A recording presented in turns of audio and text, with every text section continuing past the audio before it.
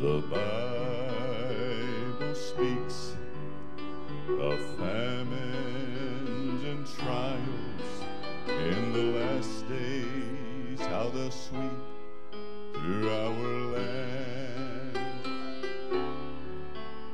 But we have His assurance that through all these trials we'll be led by his mighty hand. The manna from God will come down from above to restore and to nourish our souls. So through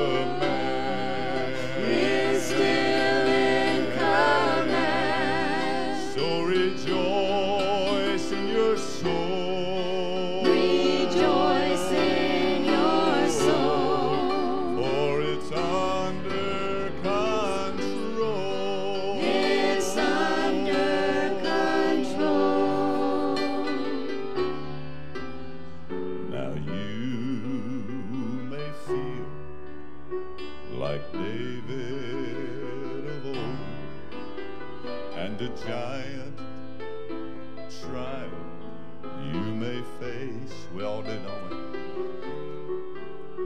But just when it seems you're standing alone, you'll find Jesus standing there in your place with a shield of faith. Your giant will fall, and Jesus all the victory will win. So today, as back then, in this world so full of sin, remember God, He still has it under